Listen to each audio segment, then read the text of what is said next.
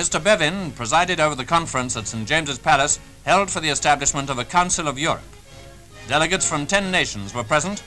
The Foreign Secretary opened the proceedings. I want to extend on behalf of His Majesty's government a very hearty welcome to my colleagues from Europe, the countries in Europe today. At the final session, the statute was signed on behalf of France by the Foreign Minister, Monsieur Schuman. For Italy, Signor Sforza. Mr. MacBride, Foreign Minister, Republic of Ireland. This statute undoubtedly marks a real advance towards European unity and augurs well for the future. For Mr. Bevin, it was a moment of real satisfaction.